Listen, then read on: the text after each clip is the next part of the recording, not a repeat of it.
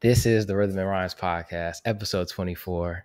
Your home for everything black music because we are the bridge of the diaspora. Ooh, ooh, wait, that was kind of cool. I'm your host, AJ Hughes, and I'm here with my co host, Antonio Hughes, and working on a tagline. I think we're getting there. Some, it's coming along. I was I was playing around with it this week and some writing.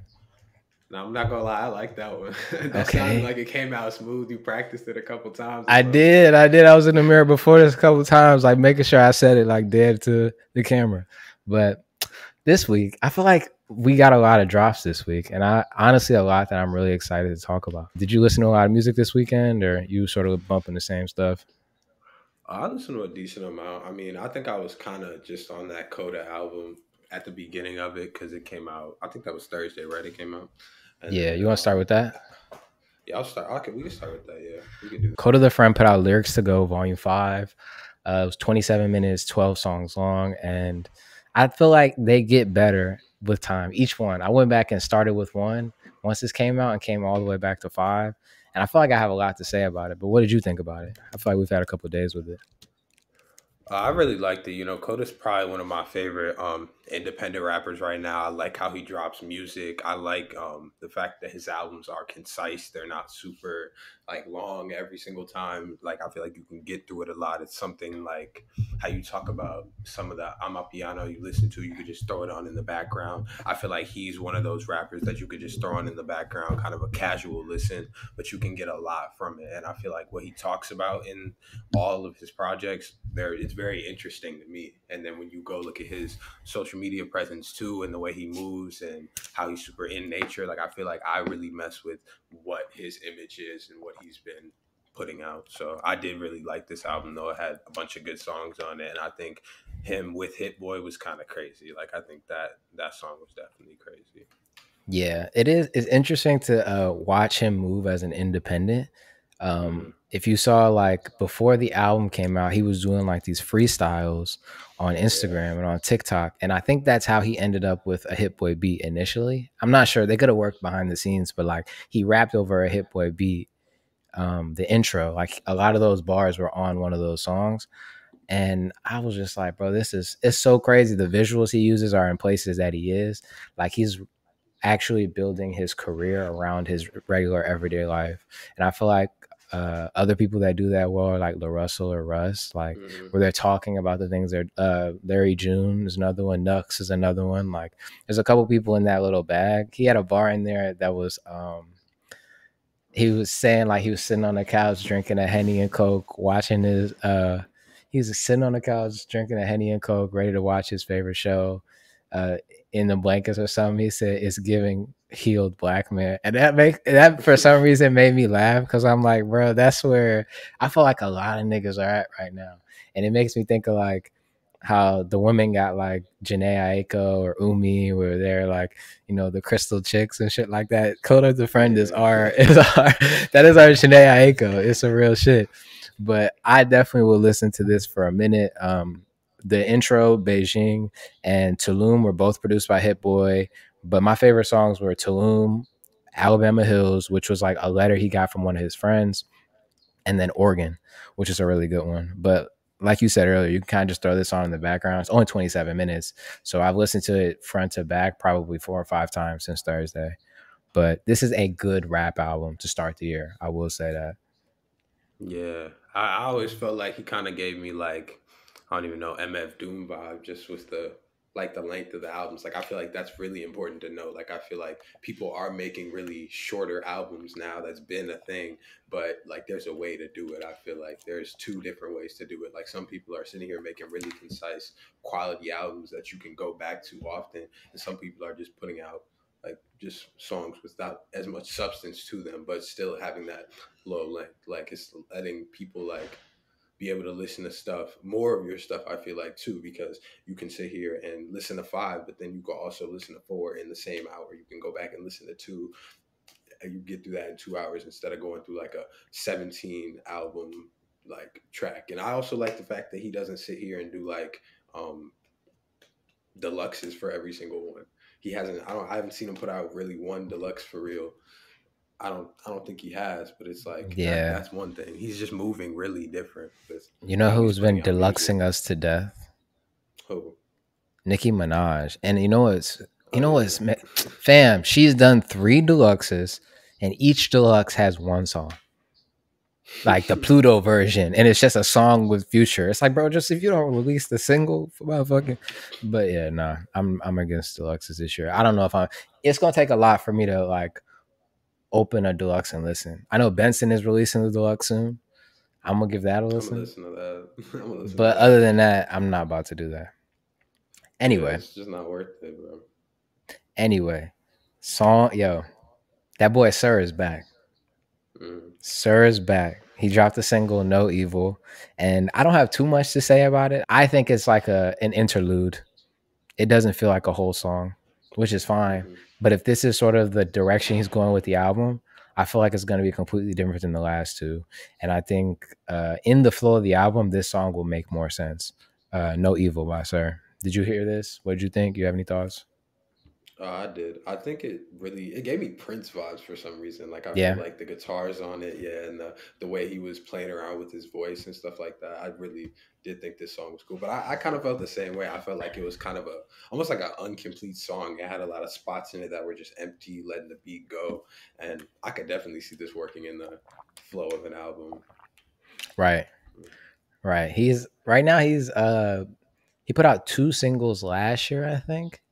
Two Mhm. or three. And he did a couple of features, but I think the last feature he did and this one in terms of like the vocal range, they're in the same ballpark. Nothing even ma- nothing nothing even matters was the last one. But I'm excited. Um I also saw that Oh wait, no, no, no. They're supposed to do a TDE collab album in the first three months of the year. I don't know if you saw that, but uh, J Jay Rock put that out that they're about to do that, which I think will be pretty cool. And I, we have to get some SiR interludes on there. I'm excited for SiR this year. That's it. That's it. Yeah, I think I think that'll sound crazy, bro. Like I, I feel like they it's it might be too little too late, but they still got a lot of quality people over there. Like I feel like for me, it's always gonna be Kendrick was at the top of that. Kendrick was the one carrying them, not carrying them, but carrying them. You know what I mean? Like he was the biggest artist aside from SZA. You know, aside from the um. mm, mm. I mean, you you still got like Ab-Soul, but Ab-Soul's not as big as um, those two. Schoolboy Q is not as big as those two. And I mean, is Schoolboy Q even still over there? Is he? Yeah. Yeah, he's got an album coming too. He said he's got one coming too. Okay. Well, I mean, there's still a lot of quality over there. I feel like yeah. You got Ray Vaughn coming up. Like Ray Vaughn is crazy. Ray Vaughn is his style's real different. I like what he's doing, but um, I think. I think it can still sound good. I mean, if, if they let if SZA's on it, SZA been rapping too lately, so maybe we're gonna get more rap SZA. You know, we were supposed to get the be what it is. deluxe. We were supposed to get the deluxe for for SOS, but apparently it got leaked. So now she's not putting it putting it out. That's bro. just fuck. It's just fucking stupid. I don't want to talk about T- TDE. Makes me mad because I love them so much. They make me mad. I don't want to talk about TDE. I want to talk about Foggie Raw. He put out a single, which I it surprised me because for some reason I was starting to put him in the content creator bag. Sadly, because I feel like he only puts out the minute videos of him like doing poetry over R and B, two thousands R and B, which is fine because I fucked with it. And the last single he put out was sort of in that poetry bag as well. But this was like an actual song. Like it had uh, some hi hats and snares and it had some pace to it. And it was a good little single. You know what I'm saying? And I hope this means that we're going to get an album soon. Um, I just thought it was worth mentioning. Yeah, I, I didn't hear this, but I could see you putting him in that content creator bag. But something I was thinking about, bro, and I saw a video on it too. I, I don't know why I feel like there's genres like rock that is rock, amapiano, Afro beats, even like that have these different subgenres. But then when subgenres came up in rap, people started to be like, nah, nah, that's just not traditional hip hop. People didn't say that when it came to like traditional rock or um, traditional um, whatever Afro beats. And I feel like there's different subgenres of everything. And I feel like what he does is a subgenre. Like if you really go look, like I've been seeing a lot of people doing the whole like kind of like poetry over a beat type of thing where it's just kind of more spoken word than it is you're sitting there trying to rhyme on beat or whatever. But I feel like this could be its own subgenre, but I gotta go listen to the song and see because I did know he actually put out the song with Alicia Keys. Of course, yeah, he had the the he had the videos with the other ones, but he only had a couple of songs that were like actual songs. So I definitely got to go listen to this to see. You know, what did Jay Z say? He said, "Truthfully, I want to rap like common sense, but I did five mil and I ain't rapped like, and I ain't been rhyming like common sense. Ain't nobody trying to hear that poetry shit, nigga." What fuck you talking about, nigga? If you don't get over this high, if you don't get over this fucking drill beat, go listen to this song. and you you know he he trying to get that five mil. But yeah, anybody, whatever. Uh, two more singles I thought were worth noting. Uh, Hype by Aya Nakamura. She's an Afro beats artist. So she's French Malian. So her heritage is from Mali. She's French. I think she lives in Paris. Don't quote me on that. It's definitely French though. And she does like Afro beats like French Afro. It's hard, so hard to explain. Like it gives me like a compa vibe, but it's also Afro beats in there too. She's done stuff with like Burna Boy and I think Wizkid. So she's in that bag, but it's French. This song is very good to me. It sounds like compa, and I love compa, bro. I don't know. It makes me want to dance. And so if you're looking for something to like, I don't know, like a like a vibe reset, I would give this a listen. And then Skepta put out a single, Get Me Up. Wait, Gas Me Up produced by Cardo Got Wings or whatever. That's the guy that's working with Larry June and everybody. Mm-hmm. Um, this was a it was an okay song, but I thought it was worth noting because he released an acapella version, which is something only DJs would do. And so you go on Twitter, something I think that is really cool is like people are taking the acapella and putting it over dance, house, drill, rap beats. And I'm waiting for like a banger to come out. They've been okay, but I feel like there's gonna be one that comes because his his flow on here is crazy. Yeah, I, I saw this um this guy made like an entire album with Skepta's old. It was like some of his old verses, and he put it over like it was like the core core thing on TikTok, and he made a whole album with that type of stuff. With the mm-hmm. like he slowed down some of the verses and put like really slow beats over them. It was like lo-fi type of thing. I saw that. So yeah, I wanted to go listen, give a listen to because it sounded like an interesting concept. Now that you said that he would release the acapella version, I could definitely see them doing that because like all the EDM DJs always end up just using random verses and putting them into the flow of their like DJ set. Like I know that um I always talk about Fred again just because I got to see him live mm-hmm. and I thought his set was crazy. But he like he was one of the people that really coined that in the past couple of years since COVID to where he had um like baby again. He took um that little baby's verse on uh baby. Dang, there's so many babies there, but on baby on that uh Quality Control album. He oh, the song with Baby, the Baby, yeah. and Lil Baby. Yeah. yeah, that's the thing. So like, so he put out that, and it was that part where he like, "Baby, he the realist, Baby probably got a couple million. He took yeah. that part, and he literally sped that up into a song. He took um the oh, I don't remember the name of that song, but it was the future song. Um, Turn up the lights. I'm looking forward to that song. He took that, he put it on something, but I think this could become an interesting thing that artists could do to get their content repurposed and then not even content repurposed, but it's like another stream of income for them because they're gonna have to lease out the verse to these um, different producers who are trying to do this. So I think this could be another interesting concept to bring. I got another. I got another prediction, and as we know, with my my my list of predictions have been pretty bad. I'm not gonna lie. You know, the Travis Scott Afro Beats album has not come out, um, but with Skepta doing the Mas Tiempo records. He's doing the house DJ thing. He's been doing it for months now, and he's been putting out a ton of house records. I think what's going to happen is he's going to be putting out raps simultaneously putting out house tracks, and eventually he's going to have all, an all house album. And then he's gonna take all his acapella shit and put it over the house beats. I feel like something like that is coming because I watched a couple interviews of him talking about like getting in the house and really loving the music. And this song has been something people wanted for a couple years. Like it got leaked a little while ago. And to put it out like this, I feel like he's just gonna blend those two worlds pretty soon. And I think it's just to be very innovative because, like you said, like taking pieces of songs and putting it on a TikTok or on a beat or something like that to like change it up, that sort of makes shit viral. And if you can do the whole Mm-hmm. thing, like, I feel like, I don't know. I don't know. I would love to see him DJ though. On another note, I feel like that'd be pretty cool. That would be a cool thing to see. Okay. Music news. There wasn't a ton. There wasn't a ton, but there were two things I thought were worth noting. Drake OVO Sound partners with and secures an investment from Todd Moskowitz and Sony Music's Santa Anna. I didn't. Uh, a side note: I didn't put out that splice clip you made because I looked like I couldn't read in the video. I was I sounded so fucking slow, and I was gonna post it, and I was like, bro, it sounds like I can't read. So I've been practicing.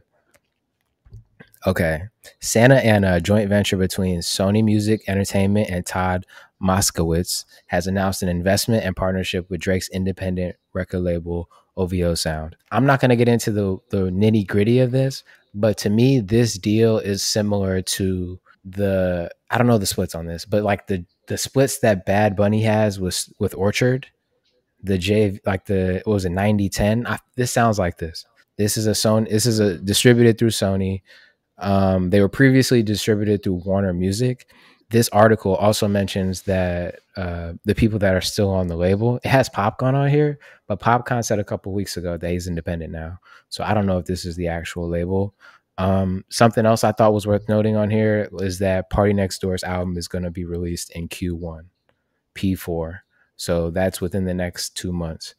Um, I just thought this was cool because OVO Sound is a label that I feel like has been honestly, for the most part, very underwhelming.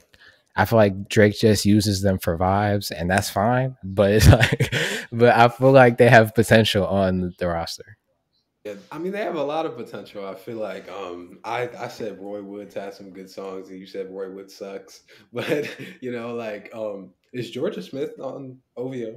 No, No. she's independent. You still got P you still got Party and I feel like Drake, like we talk about all the time, he has this way of being able to um like stay with the times and stay relevant and he knows what's hot and he likes to not likes to but will hop on what's hot at the moment make his own thing i feel like he can he has an ear for good music so i feel like with the new generation coming in maybe he could like with a partnership like this start to get more new fresh blood in there that could make OVO an actual good label like i feel like Right. why why couldn't he do that? Like I feel like he has enough pull and he has enough like taste music wise and he's in enough he's played in enough fields genre wise to be able to get good artists. And I feel like- also- go right, go ahead. No, no, no. Finish. Finish. Okay. Um and Party I've been waiting for the album. You know, I, since Party Mobile, I've been bumping Party Mobile since it came out. That's one of my favorite R&B albums to come out in that in this low time frame, whatever. But that's kind of all I have to say. Par- Party Next Door. I'm definitely excited for the album too. I'm glad that they put that out. But I feel like to this point, I don't think Drake wanted a real label. If I'm being 100% honest, I feel like he just give niggas deals that he just like. What was the dude's name? Smiley. Like- it's like- so trash, bro. Like if you go into terrible, bro. if you go into this that there's a an, a paragraph in here that says OVO's current artists include Party Next Door, Majid Jordan, Naomi Sharon, who's new, she's really good. I fuck with her.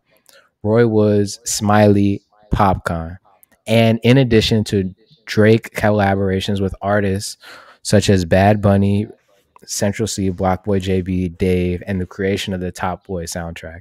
They I like how like they listed the collaborations on the back end and it just makes me think bro it's like if anybody could have signed these artists it was drake drake could have Yeah. signed central cee dave he i guess there was a situation where he offered dave a contract like way back and dave said no so that's an exception to it but i feel like drake being drake he could have signed so many other people or gotten so many other deals done if he really wanted to do that especially coming out of young money which came out of cash money he could have did like the thing. He has Party Next Door in here and Naomi Sharon, but like the rest of this, like Roy Woods, Smiley, and Majid Jordan. Put that up against like bro, they're losing any verses. Any verses they lose. I, I'm not trying to hate on them but regardless, I just feel like to this point he doesn't want to really like he doesn't want to do that because he could have. I feel like I mean, but if you put Party Next Door, Popcaan, we still got a strong, you know. But either way, I could definitely see him having those partnerships, especially with Bad Bunny and Central Cee. And I think he could, he might have a new one with them or just try to start something with them now if this label is really going to become like a, you know, more. I mean, but the thing is, Bad Bunny is signed to a 90-10 with Sony. The same, mm-hmm. essentially doing the same thing he's doing. So I'm not gonna give you more of a percentage, and I'm already top five biggest artists in the world. So I think Bad Bunny's gone, and Central Cee is signed signed with Columbia last year, and is supposed to be releasing an album. I think Q2 of this year. So those two are off the board. So you got BlocBoy JB, and that's it. And Top Boy, and Top Boy's over. Mm-hmm. Whatever. Hey, shout out Drake, man. Drake did bring back Top Boy, so I'll give him the benefit of the doubt. Last thing I wanted to mention briefly Spanish is now the second most consumed language for music in the world. Um, Luminate recently did a year end review of the top thousand, what was it, thousand or 10,000? The top 10,000 tracks and how many times they were streamed. And it has some interesting statistics in here. Shout out 12 Foot Ladder if you watch this, you know, your sponsorship could go right here. In the United States, the top three languages in music consumption percentage are total, wait, in music consumption by percentage of the total, of course, 88% being English, uh, 8% being Spanish, and Korean being 0.7%. Um, Spanish doubled its market share over the last two years. So um, it was 4.2% of the top 10,000 tracks in 2021 and it's 8.1% in 2023. Um, I feel like I don't want to say we're redundant with this when it comes up, but there was a paragraph in here that I thought sort of brought to light what we talk about on here a lot. The shift in consumption has been noticed by mainstream labels. 25 years ago, Latin acts like Shakira and Ricky and Ricky Martin had to record in English to garner widespread promotion. Spanish, the language which has long defined Latin music, was conversely and widely seen as a stepping stone on the path to international superstardom, but not as the goal. And I think that's very interesting to see where we are today, where it's like they had they made Shakira do English music because they didn't think Spanish would sell, and now Spanish is almost ten percent of the global market share, and now they're signing Spanish only acts, which I think is pretty cool to see. Yeah, I definitely think it's really interesting. Like I said, I see a new artist every single week, like a, a new one coming out every single week. Like it's 2016 rapper. Like it's it's insane. Like and I think um Spanish being a top five language spoken in the world kind of attributes to that. Like it helps that. I think it's became a language that's been spoken more. So I could definitely see how like it, it comes to that. And I feel like there is so much quality and so much like so much um you just have a lot that you can explore with reggaeton right now. And I feel like yeah. it's just becoming one of those things, you know. But yeah, reggaeton is it's always so interesting, you know, and I think um one thing that well, the last thing I'll mention from this article, which sort of echoes what you're saying, uh, according to the recent Consumer Research, in, uh, Research Insights from Luminate, 25% of US music listeners over the age of 13 say they engage with Spanish language music, even though Hispanics account for only 19% of the population. People may not speak Spanish, but they're definitely listening to the music.